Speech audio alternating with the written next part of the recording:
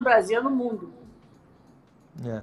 A gente, nos últimos anos, no mundo inteiro, né, é, a partir de um movimento que começou é, muito forte nos Estados Unidos, a gente, graças a Deus, a gente como sociedade, a gente está abrindo os olhos para a necessidade de a gente combater o assédio sexual, né, que é um tipo de violência de gênero terrível também, é, que se dá em diferentes espaços, é, muitas vezes se dá em espaços profissionais, né? Nós, recentemente, numa conversa por telefone, a gente conversou sobre assédio sexual no carnaval. É, estávamos ambos preocupados com o que, que ia acontecer no carnaval. Mas eu queria te, te, fazer a mesma pergunta que a Márcia fez. Eu queria te perguntar o que, que você diria, que conselho você daria para uma mulher que hoje está sofrendo assédio sexual no trabalho. Porque eu imagino que o, a aflição que deve ser para uma mulher assediada ter o, medo, ter o receio de perder o emprego, ter o medo de, de ser demitida, né? ou é o medo de não crescer na carreira, ou achar que, que isso é natural.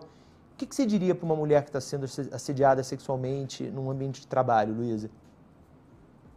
Bom, primeiro eu diria que o movimento Me Too, ele trouxe essa fala muito amplificada no mundo inteiro, e, de fato, houve grandes manifestações, que são extremamente importantes as manifestações, em prol da, desse entendimento do que é o assédio moral no trabalho. A mulher não tem necessidade nenhuma é, de ser subjugada, de ter que fazer sexo com qualquer pessoa que seja dentro de uma empresa, se sentir, se sentir mal, desconfortável, ser desvalorizada, ganhar cargo por causa disso, isso não precisa. A mulher tem que ser paga pelo trabalho dela, tem que ser respeitada, ela precisa entender que no trabalho é trabalho e se ela decidir ter um relacionamento com alguém no trabalho dela, é uma escolha dela. Mas isso é uma escolha dela pessoal.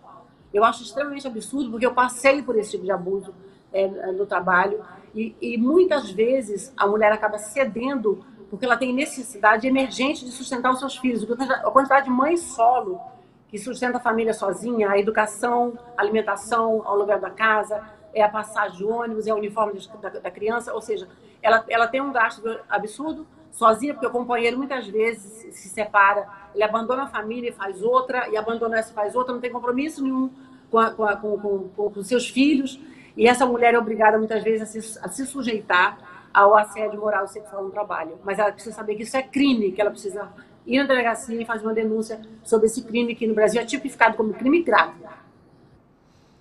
Luísa, quando você